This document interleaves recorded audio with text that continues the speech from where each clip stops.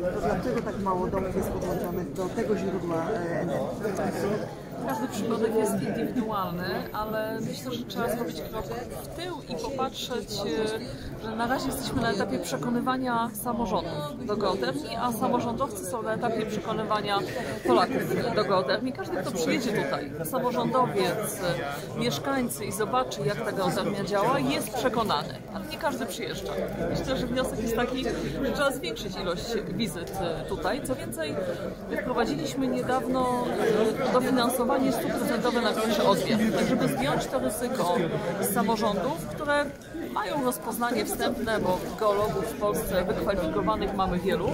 Niemniej jednak zawsze to ryzyko jest, że po odbiercie okaże się, że są nie takie parametry, czy nie ma tego potencjału, więc zaczęliśmy finansować Narodowym Funduszu Ochrony Środowiska i Gospodar- Gospodarki Wodnej 100% pierwszy odbiór. Zdejmując w 100% to ryzyko z samorządu, no i wtedy rozpoczął się przełom. Dzisiaj mamy 50 wniosków w ministerstwie, które rozpatrujemy.